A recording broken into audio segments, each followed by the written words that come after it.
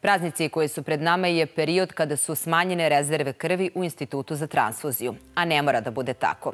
Bilo bi dobro da se svakoga dana prikupi između 300 i 350 jedinica krvi, a 400 bi bilo idealno. Za sada su programi zadovoljeni, ali ako nema dovoljno krvi, postoji mogućnost da se sporadično odlažu određene operacije, pre svega ortopedski, sa pacijentima koji su ređa krvna grupa. Zato i jutarnji program upućuje apel dobrovoljnim davaocima krvi da se odazovu zovu, a u tome mi ovoga jutra pomaže i Mirjana Knežević iz Instituta za transfuziju krvi Srbije. Mirjana, dobro jutro i dobrodošli. Dobro jutro vama i svim gledovacima RTS. I, I kakva je situacija ovih dana kada su rezerve krvi u pitanju? Kao što ste rekli, počeo je već se osjeća praznična euforija, odnosno pre svega počeo je period e, krsnih slava, a i bliže nam s novogodišnji praznici, što je zaista rezultiralo da se smanje rezerve krvi. U ovom momentu mi smo, možemo reći, neki jedno i podnevnim rezervama krvi, što je zaista primetan pad s obzirom na to da smo polovina oktobra i novembar bili na duži vremenski period, jedno dva meseca na trodnevnim rezervama. Tako da zaista sad već primećujemo da je odziv sugrađena manje, ali sigurno tome doprinose i ove česte respiratorne infekcije i različiti virusi koji vladaju u ovom periodu. Tako da je veći broj uh, dobrovnih davalaca koji i žele daju krv pa ne mogu iz nekih medicinskih razloga, odnosno moraju da odlože davanje krvi. U ovom momentu, da kažemo, nedostaju skoro sve krvne grupe, ali ipak najviše nedostaje A i nulta krvna grupa, kako pozitivna, tako i negativna. E, zbog toga poziv, naravno, kao što se rekli, pućemo svim našim humanim sugrađanima koji ispunjavaju uslove da dođu, da do kraja godine daruju krv jer je to zaista najlepši poklon, s obzirom to da je period darivanja. Mislim da nema ništa lepše nego pokloniti život. I ispomeli smo u najavi da bi bilo idealno između 300 i 350 jedinica krvi. Koliko je to onda rezerva na višednevnom nivou? Vi za sada imate na jednom i po, tako? Da, da. Pa ide, to je, da kažem, ideal jeste nekih 300 do 350 jedinica krvi uh mhm. -huh. svakoga dana, odnosno na nedeljnom nivou da to bude a, bar između 1500 i 1800 jedinica krvi. Prethodne nedelje smo prikupili oko 1300 jedinica krvi, što opet nije loše, ali nije zaista ni, ni a, dovoljno, odnosno nismo prešli tih 1500 jedinica koje bi bilo zaista idealno. Tako da, a, kada govorimo o toj rezervi, odnosno nekom broju, u ovom momentu je to možda oko 600-700 jedinica krvi da se nalazi na, na rezervama, s tim što je vikend iza nas i pošto sam jutro došla pravo ovde, nemam potpunu informaciju kako je prošao vikend, a, ali znam da je za vikend prikupljeno za dva dana samo oko 100 jedinica krvi, 120, što zaista nije, nije dobar rezultat. Mi danas imamo samo tri akcije, sutra samo jednu, sa obzirom na to da je Sveti Nikola i takođe u sredu zaista manji broj akcija i očekujemo da ova nedelja može da bude problematična zbog manjih akcija na terenu, zbog e, slave koja se slavi nekoliko dana.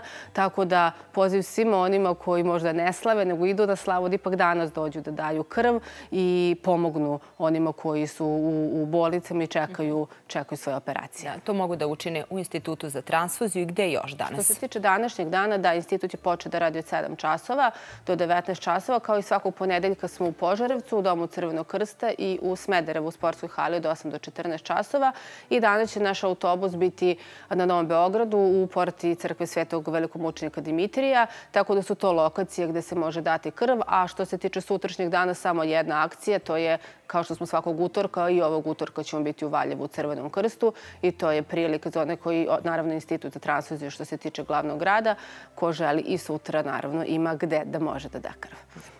A u toku novogodišnjih i božićnih praznika, kako je, kako je radno vreme Instituta za transfuziju? Da institut će raditi i 1. i 2. januara, s obzirom da su to ponedeljak i utorak, radit ćemo skraćeno od 8 do 15 časova.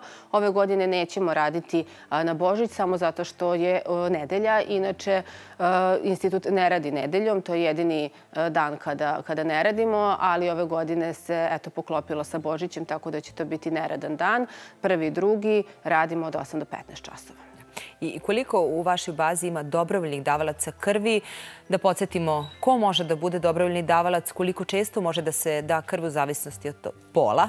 Da, to je važno da uvek pomenemo i da podsjetimo sve one koji nisu do sada davali krv ili koji nisu dugo davali krv, da svaka zdrava odrasla osoba od 18 do 65 godina starosti može biti dobrovoljni davalac krvi, ali uvek podvlačimo reč zdrava. To znači da je, se dobro osjeća na dan davanja krvi, da ne pije nikakve lekove, da je na nekoj terapiji, da u poslednjih desetak dana nije pila antibiotike za osobe ženskog pola, da imaju minimum 50 kg telesne težine, da, nisu, da nije u toku menstrualnog ciklus, takođe da nisu u drugom stanju, da u momentu davanja krvi ne doje svoje dete. I važno je da se ne boli od nekih težih bolesti. Znači, pre svega osobe koje od nekih hroničnih bolesti, malignih oboljenja, oni su, nažalost, strano kontraindikovani i ne mogu biti dobrni davaoci krvi. S obzirom to da ste pomenuli pol, važno je napomenuti da osobe ženskog pola ipak malo ređe mogu davati krv tačnije na 16 nedelja, odnosno lakše za pamćenje 4 meseca. Muškarci ipak malo češće na 3 meseca, odnosno 12 nedelja. Tako da poziv svim onima koji nikada nisu dali krv, pre svega možda upućimo njima poziv jer redovni davaoci se zaista odazivaju. Oni koji nikada to nisu činili, eto, lepa prilika da baš u mesecu darivanja, decembru, to i učini i da završe ovu godinu na jedan veoma human način. I, I koliko traje sama procedura davanja krvi? Mnogima je strah igla. Kako to prevazići? Samo davanje krvi uh, traje 5 do 8 minuta, ali cela procedura možemo reći nekih 20 do 30 minuta. S obzirom na to da uh, svako kada dođe da da krv mora da popuni jedan upitnik o svom zdravstvenom stanju i zdravstvenom ponašanju, mora se uvek proveriti nivo hemoglobina uh, u krvi, odnosno kako kakva je krvna slika, da tako kažemo jednostavno, osobi u momentu davanja krvi. Mi uvek tražimo malo jače vrednosti i svako prolazi kratak sistematski pregled, pa tek nakon toga se prelazi na krevete za davanje krvi. Nakon davanja krvi posluženje, zadržimo uvek osobu da malo popije vode, nešto pojede i nakon toga može normalno da obavlja sve aktivnosti. Tako da je to nekih pola sata, da kažemo, vremena da treba da... Šta vam kaže oni koji su se plašili posle prvog davanja krvi? Aj, hajde malo da ohrabrimo da. one koji su pa, i dalje u strahu. Naravno da se suočavamo sa tim zaista povremeno da se ljudi plaše. Naš jednostavno savet jeste da ne gledaju uh, u iglu kada daju krv. Naš osoblje je zaista sjajno i oni uvek prave dobru atmosferu da nekoga raspolože, ali kada uh, osoba to prevaziđe, kada da krv, onda ih shvati da se ništa nije promenilo, se sasvim dobro osjeća, to je podjednako isto kad je došla i kad je završila davanje krvi, ponovo se naravno vrate. Jer taj osjećaj se nekome zaista pomogli i spasili ne jedan, nego više života je neprocenjiv. I, I spomenuli smo i bazu koliko je dobrovoljnih davalaca krvi i na nivou naše zemlje, ali na nivou Beograda. Vi ste se nedavno zahvalili i pojedincima i institucijama. Da. Pa što se tiče ove godine, e, mi ćemo prikupiti e, više, to je oko 75.000 jedinica krvi. To su davanja krvi. Neka osoba su naravno više puta dale krv. Prošle godine smo bili na oko 72, što znači da je ova godina jedna od zaista uspešnijih, na što smo stvarno ponosni. A u petak smo organizovali jedan divan prijem, svečani, novogodišnji godišnji u Skupštini grada Beograda nakon tri godine pauze gde nismo mogli da se okupljamo zbog poznatih razloga. Ponovo smo na isto mesto okupili najuspešnije. Uručili smo priznanja onima koji su bile najuspešniji u zimskoj i letnjoj kampanji, svim kompanijama koji su bile posebno aktivne i širile ovu ideju davanja krvi u svom okruženju, studentima, srednjoškolcima, ali eto, istakla bih najuspešniji grad je i ove godine Požarevac, a najhumanija opština Lazarevac.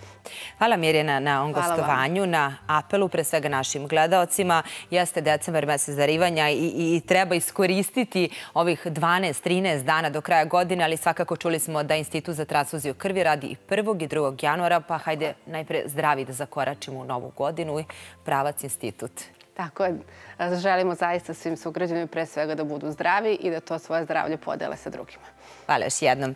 Mirjana Knežević iz Instituta za transfuziju krvi je bila gošća jutarnjeg programa. Ostanite i dalje sa nama, vraćamo se za nekoliko minuta.